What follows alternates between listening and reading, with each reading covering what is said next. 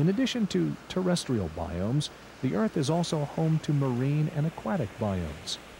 The marine biomes of the Earth's great oceans cover nearly 71% of the Earth's surface.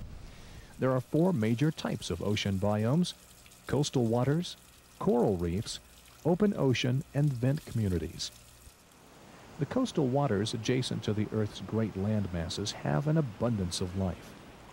Shallow coastal waters allow sunlight to reach a variety of forms of algae, and runoff from adjoining land carries valuable nutrients into the sea. Intertidal zones that are alternately covered and uncovered by seawater because of the rising and falling of the tides are home to an incredible variety of animal life, such as various types of crabs, sea anemones, snails, and sea urchins, as well as mammals such as seals and sea lions. It is in such intertidal zones that life is believed by some scientists to have begun. Just beyond the intertidal zone lies what is often referred to as the near shore zone. The near shore zone is always covered with seawater but is shallow enough to allow plants such as huge kelp to anchor to the ocean floor and still reach to the surface. On the west coast of the United States and in other parts of the world, kelp is harvested commercially from these ocean forests to be used not only as food, but also to provide ingredients for a variety of products, from ice cream to cosmetics. These nearshore kelp forests are also home to a variety of species of fish and seabirds, as well as mammals, such as sea otters. Coral reefs are a type of marine biome unique to warm tropical waters. Coral reefs are created from the calcium carbonate deposits left by the skeletons of various species of coral and a unicellular form of algae called dinoflagellates. Coral reefs provide a home for a wide and colorful variety of marine life from invertebrates such as sponges and sea anemones to hundreds of species of fish. Out in the open ocean, the depths are too great to allow multicellular species of algae to anchor to the ocean floor and still reach a depth that can be penetrated by sunlight. As a result, the primary food source in open ocean biomes are single-celled photosynthetic phytoplankton, such as diatoms and dinoflagellates that float near the surface. The open ocean is also populated by different species of minute animals, which as a group are referred to as zooplankton. The zooplankton, which feed on the phytoplankton, are in turn consumed by various species of small fish and sea mammals, such as the humpback whale. The open ocean is also populated by mammals such as porpoises and other whales, and by a variety of large commercially harvested fish, such as tuna. In 1977, geologists exploring the Galapagos Rift at a depth of over a mile and a half below the surface discovered the first of a unique type of marine biome that scientists now refer to as vent communities. Because of their depth, vent communities are engulfed in total darkness.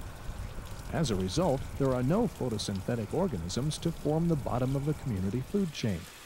The place of the photosynthetic organisms is taken by sulfur bacteria that obtain their energy from the hydrogen sulfide spewed from the deep sea vents in a process called chemosynthesis. The sulfur bacteria support a community of unique organisms that include tube worms, which can grow up to 12 feet in length, and various other animals such as blind white crabs, white clams, and enormous mussels. Many scientists believe that there may well be other equally unique communities yet to be discovered below the ocean's surface.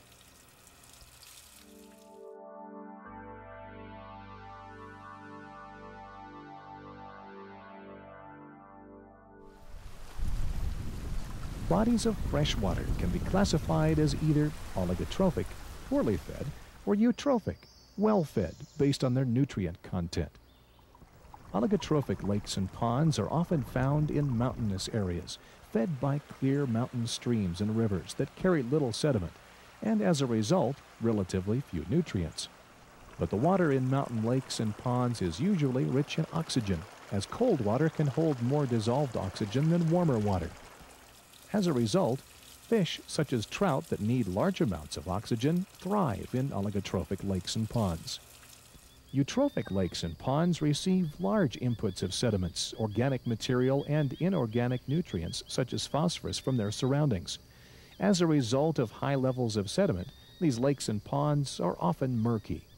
High concentrations of nutrients in the water make dense blooms of algae a common sight in eutrophic lakes and ponds. As these blooms die off, they're consumed by decomposer organisms that use up much of the lake's or pond's valuable oxygen. As a result, eutrophic lakes typically have much less dissolved oxygen than oligotrophic lakes and ponds. Eutrophic lakes and ponds are populated by fish such as catfish and bass that are much better adapted to their murky, oxygen-depleted environment than are trout. All the Earth's biomes can be disturbed and devastated, both inadvertently and deliberately, by the actions of humankind. Sulfur emissions from coal burning power plants have inadvertently destroyed both aquatic and forest habitats in various parts of the world through the phenomenon of acid rain. In the past, the grasslands of the American Midwest were deliberately destroyed to provide agricultural land for American farmers.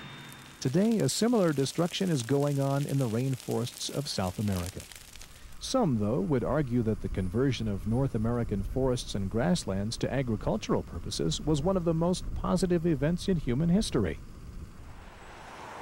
Can similar arguments be made about the current conversion of the world's rainforests to agricultural uses?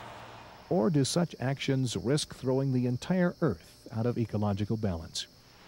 Finding the answer to such questions through a thorough understanding of the interrelationships that exist between the Earth's living organisms may well prove critical to the survival of life on Earth.